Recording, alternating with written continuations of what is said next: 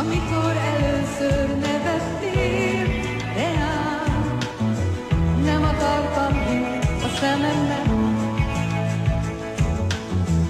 Amikor először beszéltem veled, nem akartam hinni a fülemnek. Jártatok itt azóta? Nem. Én egyszer voltam itt 10-15 évvel ezelőtt, de már akkor nem ismertem rá a környékre. Konzsuzsa és Bródi János első közös képe 60 évvel ezelőttről. A két legendás művész néhány hónappal korábban itt a Balatongyöröki parton ismerkedett meg. Az életre szóló találkozás színhelyén a jubileum alkalmából emléktáblát avattak. A meghitt ünnepségre a fókusz is elkísérte őket. Én speciál most úgy érzem magam, mintha egy ilyen mesében lennék, ami egyszer volt, hol ne volt, ki tudja, igaz volt-e, nem volt-e. Az a jó érzés benne, hogy most is így vagyunk együtt.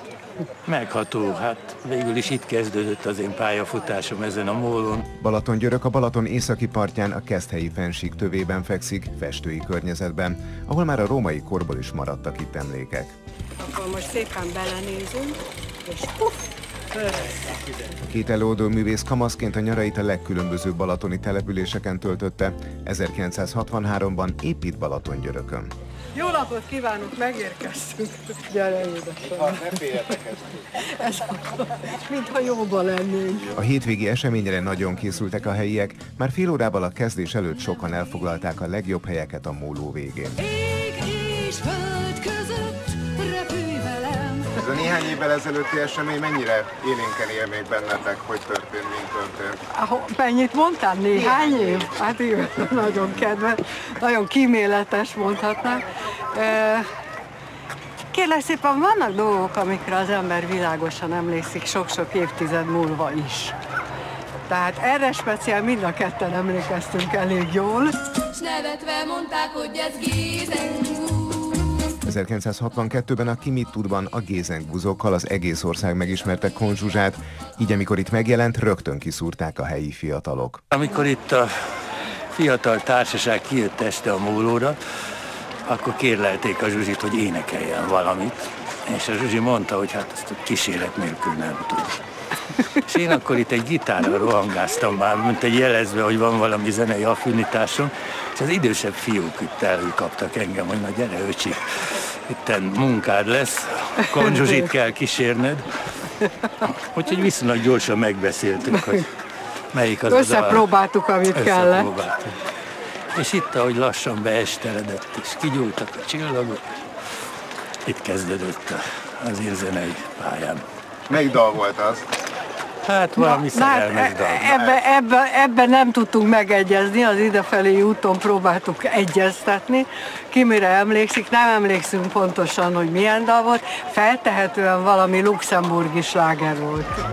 Kéz a kézben sétáltak ki a györöki múló végébe, ami megtelt rajongókkal, akik énekelve fogadták a művészeket. A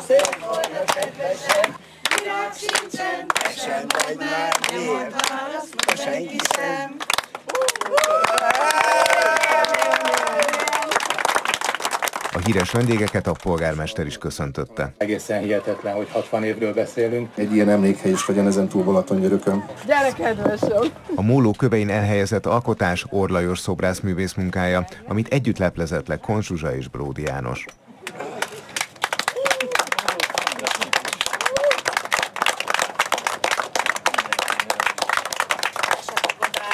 Nagyon köszönöm. Mostantól kezdve mindenki nyugodtan taposhat rajta. Aki csak erre jár. Nagyon elegáns. Ki hitte volna? Köszönjük. Köszi. Szia, mama!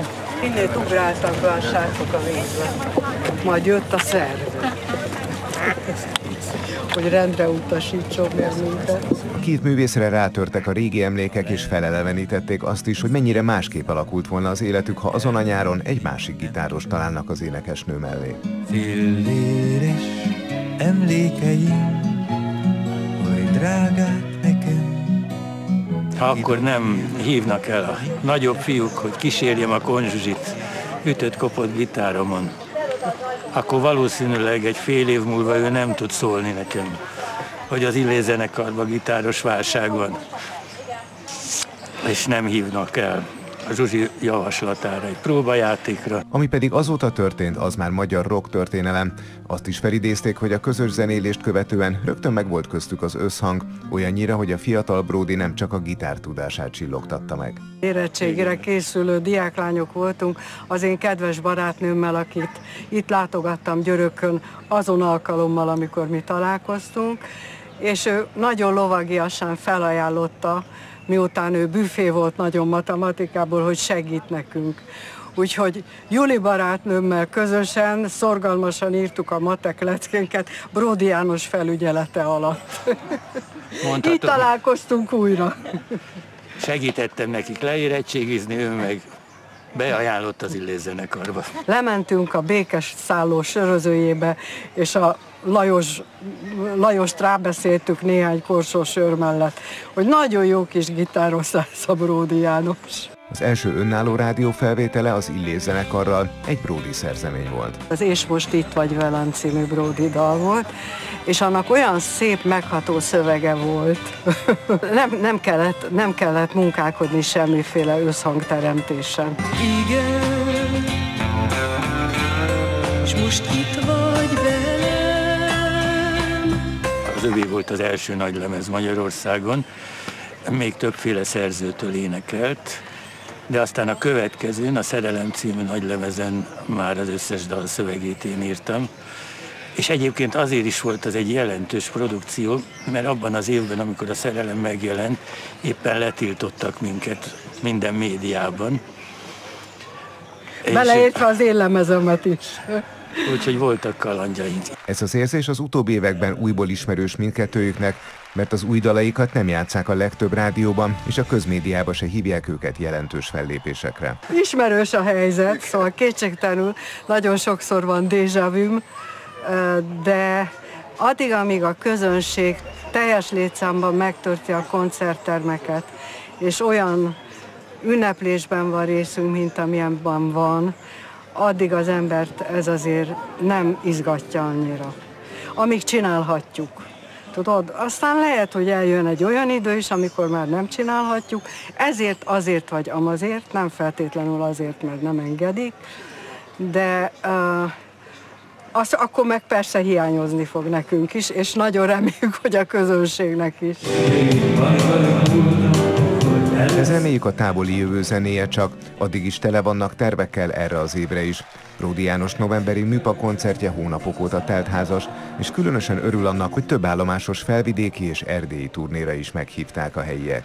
Tavalyi koncertemről készült DVD, az hetekig vezette a, azt a slágerlistát, amin hát azért többségében nálam lényegesen fiatalabb művészek vannak. Az bizonyítja, hogy ebben a Tiszavirág életi műfajban nekünk azért sikerült maradandó maradandó műalkotásokat létrehozni. Amikor.